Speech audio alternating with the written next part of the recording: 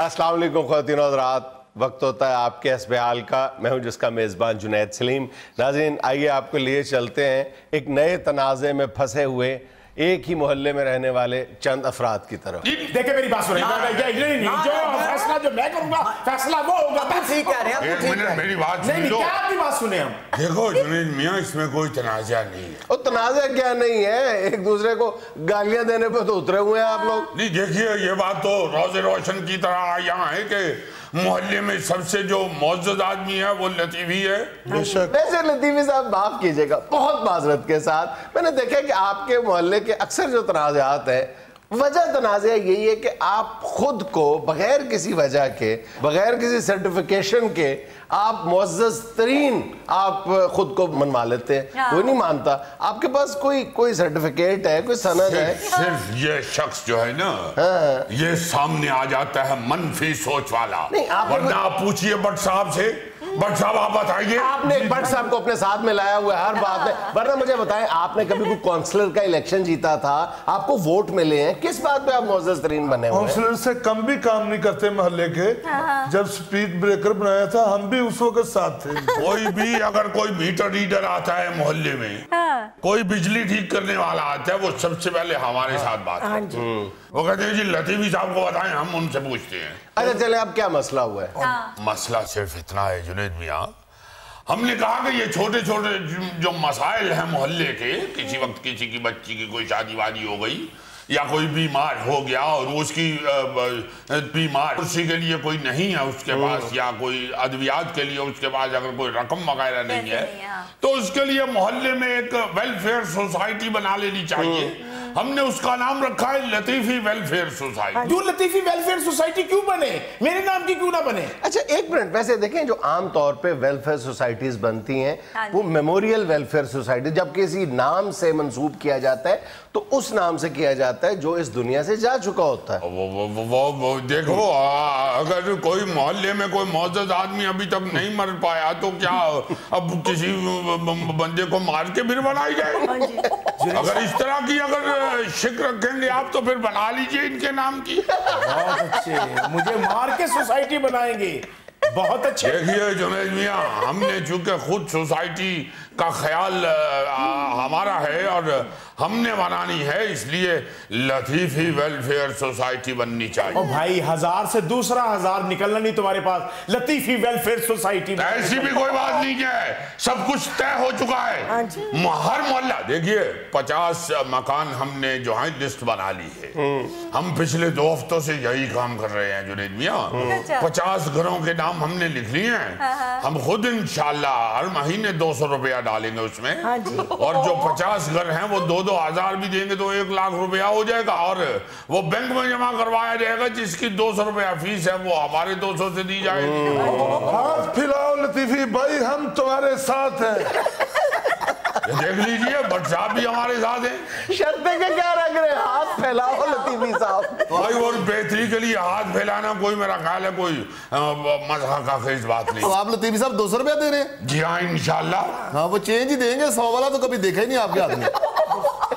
कोई ऐसी घूमर निकालिए हम इंशाल्लाह अ, मेहनत करेंगे और दिन रात एक करके हम अपनी वेलफेयर सोसाइटी को दिन दुगनी रात चुगनी तरक्की देंगे। वैसे माफ़ कीजिएगा वेलफेयर सोसाइटी का आइडिया बहुत अच्छा है। हाँ। लेकिन देखिए अगर आपको एक ऐसा शख्स सदर के तौर पे दस्तयाब है जो अपनी जेब से पैसे खर्च कर सकता है तो मेरा ख्याल है उनसे बात कर लेने में कोई अर्ज़ नहीं है। हाँ। देखिए पाँच लाख मैं देने के लिए तैयार हूँ। सदर मुझे बना आज तो आप दीजिए पाँच लाख लतीफी वेलफेयर सोसाइटी को। चुपताई वेलफेयर सोसाइटी बस। आप ठीक है बात सुनिए। सदर आपको बना देते हैं सरपरस्त आला हम रहेंगे। ऐसा मुबादला मामला कर ले। यार ये ओदों की दौड़ नहीं है भाई। आप वेलफेयर का काम करना चाह रहे हैं सारी बात है ये ओदों की दौड़ नहीं है।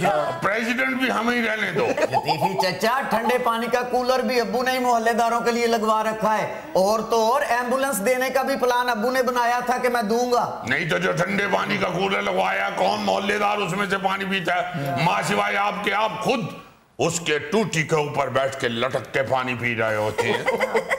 क्योंकि जुनेद मियाँ कूलर इन्होंने अपने लॉन के अंदर लगवाया हुआ है। और अक्सर इनके लॉन का जो गेट है वो बंद होता है। हाँ। कौन गेट खुलवाए और फिर जाके उधर पानी पिए? हाँ। ये बड़े तेज आदमी हैं। हाँ। अपने लिए लगवाया और ऐलान कर दिया कि हमने मोहल्लेदारों के लिए लगवाया। सर इन लोगों के लिए इसलिए लगवाया कि चलो मोहल्लेदारी में आना जाना लगा रहे। मैं तो ਦੀ ਲੜਾਈ ਮੁਕਾਣਾ ਚਾਹ ਰਹੀ ਹਾਂ ਸੁਸਾਇਟੀ ਜਿਹਦੇ ਨਾਮ ਮਰਜ਼ੀ ਹੋਵੇ ਤੁਸੀਂ ਸਦਰ ਮੈਨੂੰ ਬਣਾ ਦਿਓ ਇਹ ਸਦਰ औरत बन- के सदर बनने के लिए जो शिक है वो आपको मायूब लगेगी औरत अगर बेवा हो तो वो सदर बन सकती है ये क्या फजूल चेक है देखिए वो इसलिए है कि अगर घरदारी वाली खातून होंगी तो वो फिर वेलफेयर काम नहीं कर सकेंगी क्यों अगर वो अ, खुदा न खास्ता अ, अल्लाह ताला इनके शोहर को इनके सर पे सलामत रखे अगर कोई बेवा खातून हो तो वो तो चलो टाइम दे सकती है क्योंकि उनके पास अ, घर में इतनी मसरूफियत नहीं होती तो वो सोसाइटी को टाइम दे सकती हैं इसलिए हम तो कह रहे हैं तो ठीक है मुझे ये शिक मंजूर है क्या कह रही है मुकद्दस बट साहब मुझे नहीं पता मैंने सदर बनना है प्लीज ਉਹ ਬੱਟ ਵਿਚਾਰੇ ਨੂੰ ਕੀ ਕਹਿੰਦੀ ਹੈ ਭਾਬੀ ਤੂੰ ਤਕਰੀਬਨ ਬੇਵਾ ਹੀ ਹੈ ਬੱਟ ਵਿਚਾਰਾ ਸਵੇਰ 6 ਵਜੇ ਜਾਂਦਾ ਰਾਤ ਨੂੰ 12 ਵਜੇ ਆਉਂਦਾ देखिए बात को इधर उधर ना लेके जाइए भाई। लतीफी वेलफेयर सोसाइटी के सरपरस्त हम ही होंगे। लतीफी साहब कोई अकल के नाखून लें। अरे लग पते जाएँगे। जब डोर टू डोर तुम दो हज़ार लेने जाओगे हर घर से तो कोई कहेगा आप सौ रख ले बाकी पैसे अगले हफ़्ते ले लेना। कोई कहेगा दो सौ ले जाओ अगले हफ़्ते ले लेना। कोई कहेगा यार आधे हम ले ले आधे फिर ले लेना। कोई कहेगा इनको सिर्फ़ ठंडा पानी पिलाओ और अगले माह कट्ठे ही दे देंगे। कोई कहेगा हमारी तरफ़ से आप डाल दो आप सदर है। देखिए देखिए देखिए हमारी बात सुनिए हम हाँ हर चीज़ सोच चुके हैं हर चीज़ सोच चुके हैं। प्लानिंग हो चुकी अल्लाह के फजल से आपकी बात- निकालिए। क्या काम करना जो वक्त घूंघट में रहेगी। तो कोई ऐसी बात नहीं घूंघट में भी खातन काम कर रही हैं। हमने तय कर दिया हुआ है जुनेद मियाँ मैं और आपकी भाभी दोनों आराम से बड़े आराम से रुमाल पकड़ के तो गली में चक्कर लगा सकते लतीफी साहब इनके लिए भी वही शर्त है। कौन सी वाली? बेवा होने वाली। भाई वो तो सदर बनने के लिए है। ये तो हमें असिस्ट करेंगी। अगर आप चाहती हैं तो आप असिस्ट कर लीजिए। लतीफी साहब घूंघट निकालिए घूंघट निकालिए लतीफी साहब अपना निकालिए अपना निकालिए ਆ ਦੇਖ ਰਹੇ ਹੋ ਜਨੇ ਸਾਹਿਬ ਬਣਾਉਣੀ ਇੱਕ ਗਲੀ ਦੀ ਵੈਲਫੇਅਰ ਸੁਸਾਇਟੀ ਹੈ ਤੇ ਸ਼ੋਖੀਆਂ ਇਹਨਾਂ ਦੀਆਂ ਸੁਪਰਸਟਾਰ ਹਮਈਓ ਸਈਦ ਵਾਲੀਆਂ ਨੇ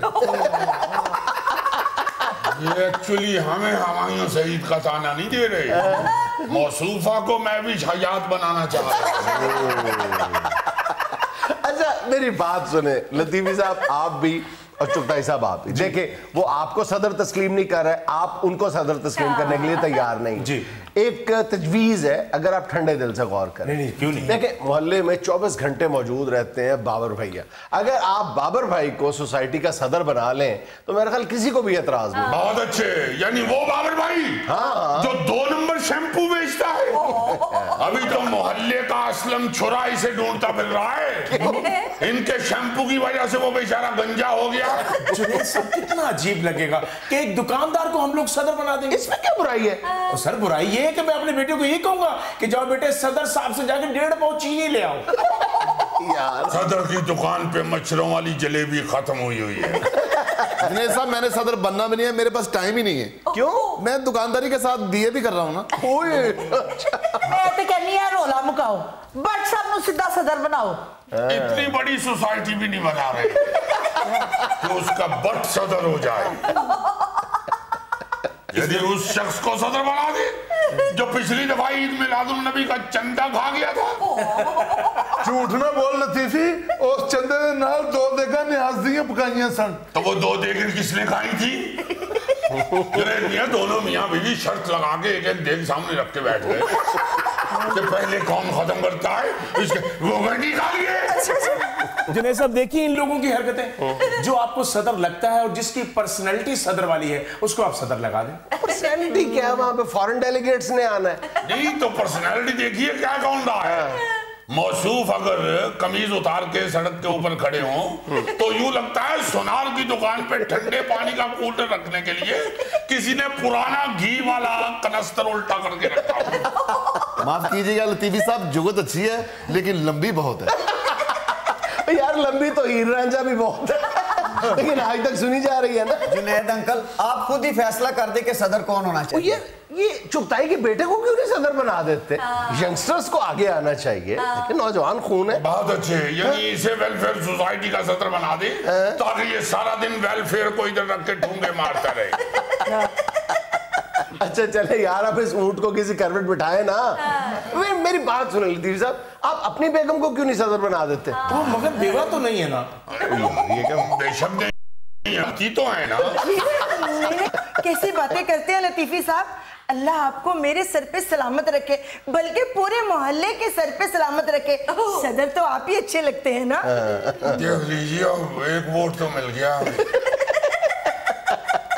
ਇਹ ਕੋਈ ਗੱਲ ਨਹੀਂ, ਜੀਵੀ ਸਾਹਿਬ ਇੱਕ ਇੱਕ ਵੋਟ ਤੇ ਅਸੀਂ ਤਿੰਨੇ ਮਹੱਲੇਦਾਰ ਲੈ ਕੇ ਬੈਠੇ ਹਾਂ।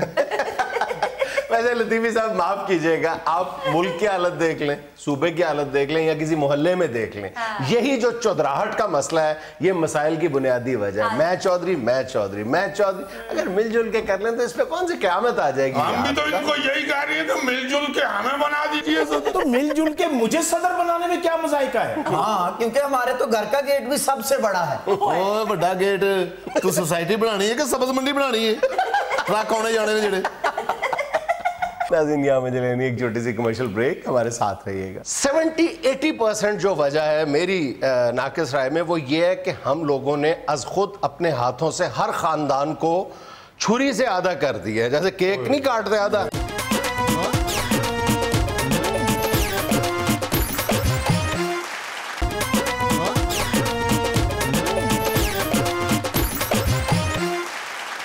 अच्छा जी प्यारे भाई एक मिनट एक मिनट।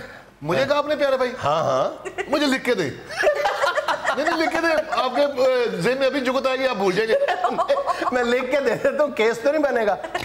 नहीं यार एक तुम सच लिख रहे हो और सच लिखने वाला सहाफी तो इज़्ज़त होता है सच लिखते वक्त तो डरते ही नहीं साफी। नहीं नहीं प्यारे भाई मैं आपसे बात ये करने लगा था कि कुछ दिन पहले भी हम बात कर रहे थे इस मसले पे कि हमारे खानदान जो हैं वो ख़त्म होते जा रहे हैं। खानदानी निज़ाम सुकड़ता जा रहा है। हमारे यहाँ भी मतलब जितना मर्ज़ी हम इस पर फख्र महसूस करें कि हम बाकी दुनिया की नस्बत अपनी फैमिली वैल्यूज़ को लेकर चलते हैं। इकट्ठे का जो कल्चर है वो ख़त्म होता जा रहा है। उसमें एक बहुत बड़ा आप आंसर आम तौर पे हम नजरअंदाज कर देते हैं कि क्यों खानदान सुकड़ते जा रहे हैं। सेवेंटी एटी परसेंट जो वजह है मेरी नाकिस राय में वो ये है कि हम लोगों ने अज खुद अपने हाथों से हर खानदान को छुरी से आधा कर दिया है। जैसे केक नहीं काटते आधा।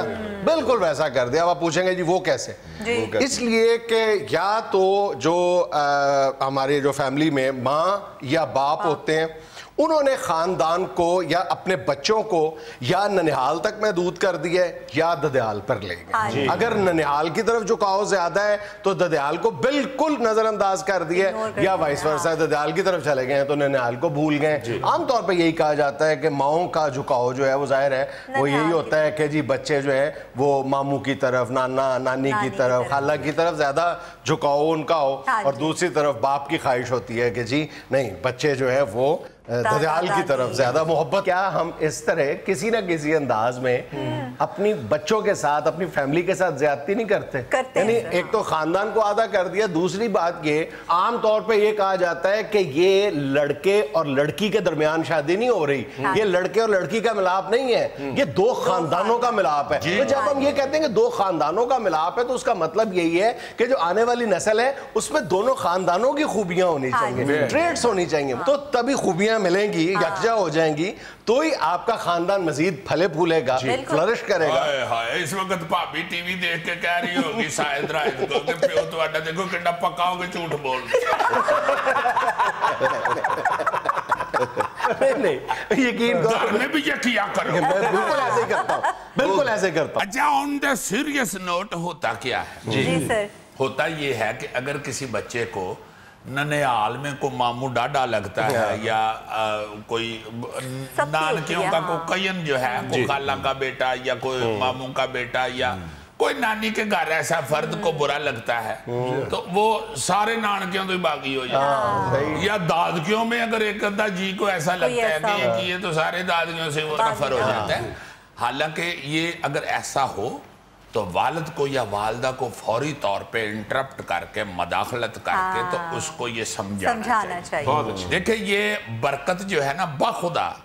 ये सोने के पानी से लिखने वाला फिक्रा है कि इत्तफाक में बरकत। बहुत अच्छा। पूरी दुनिया में आप देख लें जो जो लोग इत्तफाक से रहे हैं ना जो हाँ मोहब्बत से रहे हैं जुड़ के रहे हैं हाँ। वही तरक्की कर सके हैं वही ताकतवर हुए हैं और उन्होंने अच्छी और सहूलत वाली खूबसूरत ज़िंदगी अच्छा मैं इससे एक कदम आगे जाता हूँ। मैं तो यहाँ तक कहता हूँ कि अगर माँ बाप में से किसी एक का अपनी फैमिली में किसी से इख्तलाफ भी है हाँ तो अपने बच्चों को कह दिया जाए कि यार देखो बेटा वो इख्तलाफ मेरा और उनका है। उनके बच्चों का और तुम्हारा नहीं होना चाहिए वो इख्तलाफ। वो हमारी सतह पे है। तुम्हें नहीं पता वो इख्तलाफ क्यों है क्या, तुम्हारा उससे कोई लेना देना है ही नहीं। है कि मामू तुम्हारे ने मुझे दो नंबर पर दिया है। हाँ।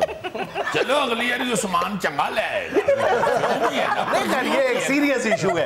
ये एक अच्छा, सीरियस इशू है कहा कि हर दूसरे तीसरे महीने बाकायदगी के साथ परफ्यूम देना और दो दो साल तक ना देना। तो serious- ਹੁਣ ਬੱਚੇ ਵੱਡੇ ਹੋ ਗਏ ਨੇ ਜਾਣਦੇ ਤੇਰੀ ओ यार बहनोई अपनी जगह बच्चे अपनी जगह लो दीदी थैले के खानदान में तो इतना इत्तेफाक है वो हुए हुए सबके कद एक जितने हैं वाह कोई एक दूसरे से ऊंचा नहीं होता हाँ जी बिल्कुल सही कह रहे हैं आप अगर हमारे में से कोई बड़ा भी हो जाए ना तो उसको जूती नहीं पहनने देते ताकि सब बराबर लगे माइंड कर गुस्सा कर गया अच्छा इस जीवन में अपने छोटे छोटे रवैयों पे भी हमें गौर करना चाहिए। हाँ अक्सर देखा होगा आपने कि माँ कह रही होती है ये कोई गलत हरकत हो जाए। हम्म। ये देखा अपने चाचे पे गया। हाँ। या बाप कह रहा होता किसी भी गलत हरकत देखे मामू पे मामू गया। ओ यार मामू चाचे इधर घर बैठे हैं। आप अपने बच्चों को खाम खा मामू चाचों से मुतनफर करवा रहे हैं। हाँ।, हाँ जी हाँ जी। और बाल अपना नहीं ठीक थे तो मामे चाचे तो ठीक करो। ਮਾਮਾ ਲੰਡਨ ਬੈਠਾ ਉਹਦਾ ਵਿਚਾਰੇ ਦਾ ਕੀ ਕਰੇ? ਘਰ ਦੇ ਚ ਲੜਾਈ ਹੋ ਪਵੇ ਤੇ ਬੀਵੀ ਸੁੱਤੇ ਪਏ ਬੱਚੇ ਨੂੰ ਕਹਿ ਰਹੀ ਹੁੰਦੀ ਤਾਏ ਤੇ ਗਿਆ। ਹਾਲਾਂਕਿ ਬੱਚਾ ਸੁੱਤਾ ਉਹਨੇ ਕਿੱਥੇ ਜਾਣਾ? अच्छा सर पहले वक्तों की माए रिश्तों में तोजन रखती थी हाँ। कि ननियाल और ददयाल हमेशा इक्वल रहे मिलते जुलते रहे स्ट्रेंथ बनती है हाँ। फैमिली की स्ट्रेंथ बनती है। आपकी फैमिली की स्ट्रेंथ बनती है जब आपके साथ ननियाल भी खड़ा हो और ददयाल भी खड़ा हो। हाँ। ये स्कूल की छुट्टियों में गोगा गया नानी के घर? हम्म। रोज कहता नानी में रोटी खानी है नानी में रोटी खानी है नानी में रोटी खानी है। हाँ। नानी फिर एक दिन आके कहती पुत्र आज मैं खानी छुट्टियों के आगाज़ में नानी जैसी थी। आखिरी छुट्टी में जुल्फी जैसी हो अच्छा कई बुज़ुर्ग बड़े समझदार होते हैं। मेरे सुसर साहब भाई साहब क्या करते हैं कि जेब में इतनी सारी टाफियाँ रखते हैं। सौ रुपए की टाफियाँ लेकर ना जेब में डालते शुरू शुरू में मुझे ऐसे फील हुआ कि टाफियाँ बेच दे फिर मैंने देखा कि जो बच्चा उनके सामने आए ना पोतरा हुए दोतरा हुए उसको एक टाफी लगाया। तो सारे बाल उनके आशक। बच्चा तो छोटी छोटी बातों से बहल जाता है। ये हमें छोटी छोटी बातों से नाराज़ भी हो जाता है। इसलिए मेरा ख्याल है वालदेन को गाइड करते रहना चाहिए ताकि बच्चे इकट्ठे रहें। हाँ। नाजिन यहाँ में लेना एक छोटा सा वक्फा। हमारे साथ रहिएगा। मोनू सलाई को वज़ीर क्यों नहीं बनाते? मैं खुद बड़ा हैरान हूँ।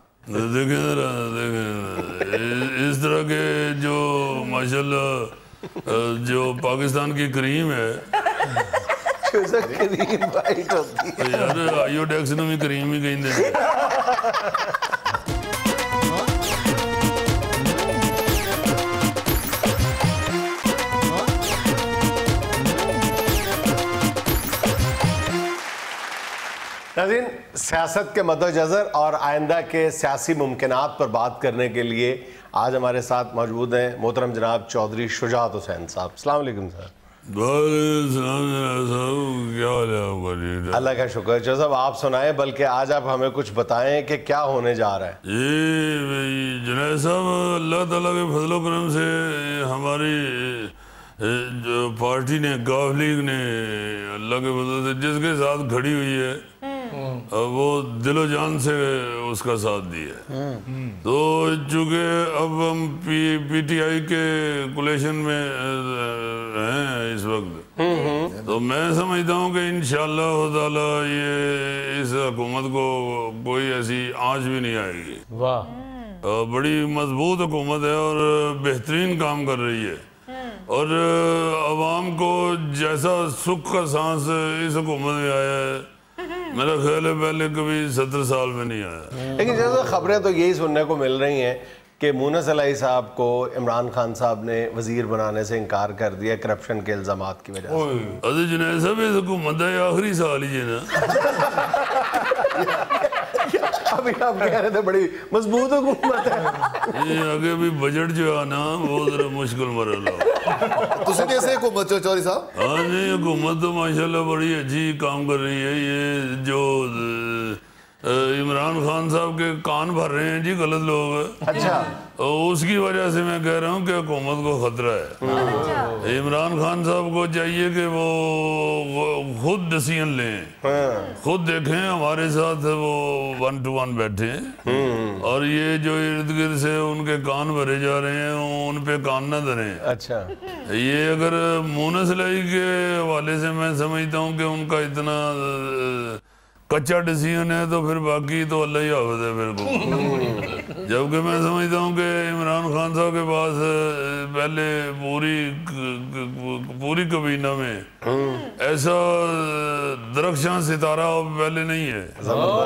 ये मूनस लाई जैसा ईमानदार आदमी जुनेद साहब मैं मैं आपको बात बताऊँ हमारा तो बच्चा है। वो अपने मुँह मियाँ मिठू बनने वाली बात लगती है। ऐसा ईमानदार बच्चा मोनस है आप यकीन करेंगे जब बिल्कुल छोटा सा था यंग सा तो सब्ज़ी भी कभी लेने गया है तो आके टके टके का हिसाब दिया है वापस। होता है ना बच्चे बीच में से कुल्फी जुल्फी ले लेते हैं। कभी नहीं कभी नहीं। अगर कोई ज़रूरत पड़ी भी है तो उस वक्त तो मोबाइल तो होते नहीं थे। तो उसने जाके उधर वो मेडिकल स्टोर पर से लैंड फ़ोन से घर फ़ोन किया और पहले पूछा कि मैं ये कुल्फी ले लूँ?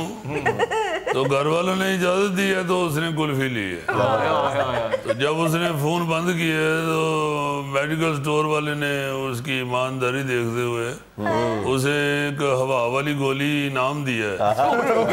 और काल के पैसे भी नहीं लिए। उसने कहा बेटे तुम इतने अच्छे और ईमानदार बच्चे हो गए तुमसे क्यों ले लूँगा तो मेडिकल स्टोर वाला वेला ही इधर ही सुन दिया कोई अपना काम नहीं कर रहा गौरी साहब जरा पुराना ਸਾਡਾ ਦੌਰ ਸੀ। ਜੀ ਜੀ ਉਸ ਦੌਰ 'ਚ ਤੇ ਗੁਜਰਾਤ 'ਚ ਕੋਈ ਬਿਮਾਰ ਹੀ ਨਹੀਂ ਸੀ ਹੁੰਦਾ।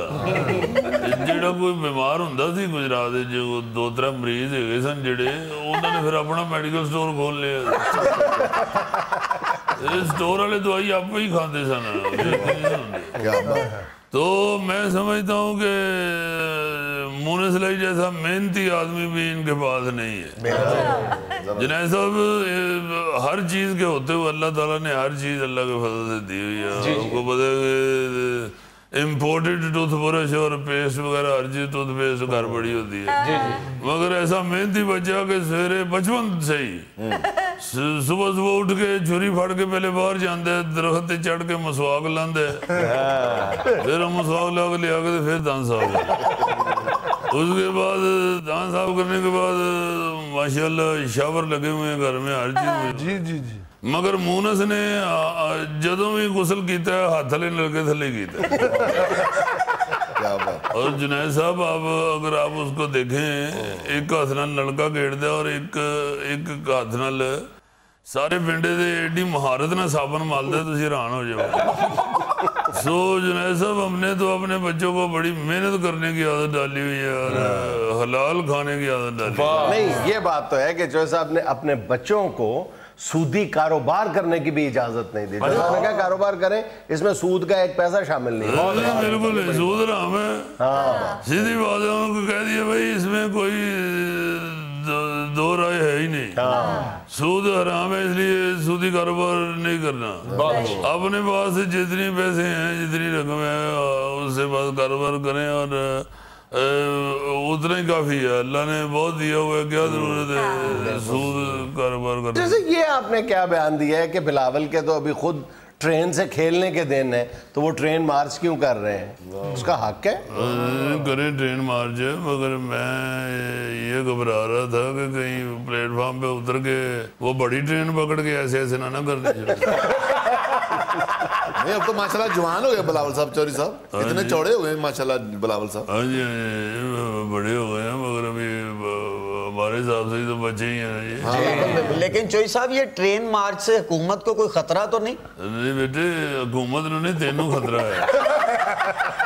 तू मेरा पुत्र अगर ट्रेन तो बड़ी लंबी होंगी है तेरे को कोई साइकिल वाला भी लंघे ना तो तू फटाफट किसी खंबे जफी ला लिया ਕਿਉਂਕਿ ਪੁੱਤਰ ਸਾਈਕਲ ਲੰਘਣ ਦੀ ਵੀ ਇੱਕ ਹਵਾ ਹੁੰਦੀ ਹੈ ਤੇ ਟ੍ਰੇਨ ਦੀ ਤੇ ਬਹੁਤ ਜ਼ਿਆਦਾ ਤੇਜ਼ ਹਵਾ ਚੱਲਦੀ ਹੈ ਸੋ ਮੇਰਾ ਇਸ਼ਾਰਾ इस तरफ है जुनैद साहब के बिलावल अभी बच्चा है बेचारा उसको तो अभी इतनी समझ नहीं है सियासत की तो मेरा मेरा इशारा उस तरफ था आपको पता है कि मैं तो सारी बात जो है वो इशारा तो नहीं करता हूँ तो वो आप जैसे माशाल्लाह जो जीरक और सीनियर साफी हैं वो समझ जाते हैं और जिन्होंने नहीं समझ लाती वो समझते चौधरी साहब को जुगत करन रहे हेलो मेरा मेरा इशारा होता है ये मोनसलाई को वज़ीर क्यों नहीं बनाते मैं खुद बड़ा हैरान हूँ देखें देखें इस तरह के जो माशाल्लाह अ, जो पाकिस्तान की क्रीम है। क्रीम वाइट होती यार आयोडेक्स भी ही कहीं दे नाजिन यहाँ में लेना एक छोटा सा वक्फा हमारे साथ रहिएगा।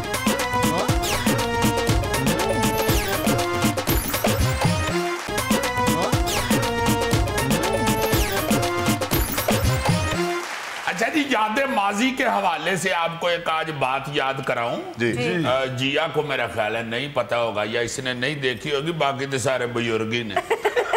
यादें माजी के हवाले से मेरे जहन में भी अक्सर आता है कि माजी की बातें हैं ना।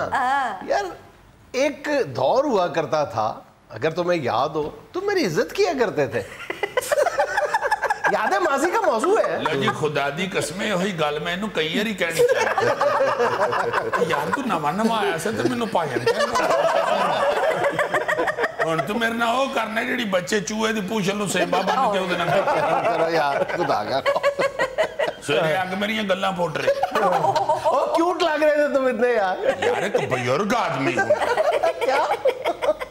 जी भाई जी याद माई का आपको वाकया याद कराता हूँ एक चीज़ याद कराता हूँ आप मज़ा लेंगे। जी। और तीस कुछ साल पहले मेरा ख्याल है या पच्चीस साल पहले।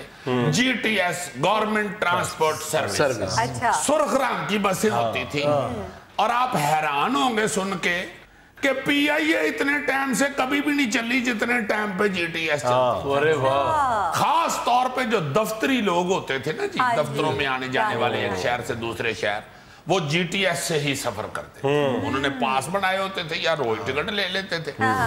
एक्यूरेट टाइम पे पूरे वक्त पे अकबर सुबह वो सवा सात का टाइम है तो सवा सात वाली बस निकल गई। है। अच्छा। साढ़े सात का टाइम है तो साढ़े सात पूरे निकल गई है बेशक बस खाली खाली है। करेक्ट टाइम पे चलती थी इसलिए जो पढ़े लिखे दफ्तरी लोग थे वो उसी में सफ़र करते थे और टाइम पे पहुँच किराया भी कम होता था उसका। किराया कम होता था रास्ते में खड़ी नहीं खड़ी नहीं होती। थी। पौना पौना घंटा पिंड की नुक्कर ते नहीं सी खलोती कि चौरी साहब घरों निकले ने उन्हें पहुँच जाने। प्राइवेट बसें तो ऐसे करती है ना दूर पगडंडी पे बंदा आवाज़ मारता है, ओ इसको समझा जा आ जा उधर से वो पिंड वाला कह रहा होता था कि हले तो मैं गंदला का साग बनना है आराम ना बन ला सानू का काली है और कंडक्टर सिगरेट लगा के नीचे फिरना चाहिए जीटीएस बिल्कुल ऐसे नहीं थी बिल्कुल सही टाइम पे निकल जाती थी और टाइम पे पहुँचा देती थी। और लोग अपने अपने दफ्तर टाइम पे पहुँच जाते अच्छा तुम्हें इसमें एक सितम जरीफी की बात बताऊँ तुम्हें याद होगा कि जब जीटीएस की सर्विस चलती थी हाँ तो उस वक्त मुख्तलिफ़ शहरों में उसके अपने अड्डे हुआ करते थे इंतज़ार गायें हुआ करती हाँ थी। जहाँ पर एक कोने में कैंटीन भी होती थी और मतलब सितम जरीफी मैं इसलिए कह रहा हूँ कि जीटीएस तो खत्म हुई सो हुई। उसके जितने कम अज कम मैं पंजाब में हमने इसका ज़िक्र भी किया था कि 80 फ़ीसद से ज़्यादा जो सरकारी ये जीटीएस के अड्डे थे। हाँ उन पर अब कब्जा हो चुका हो।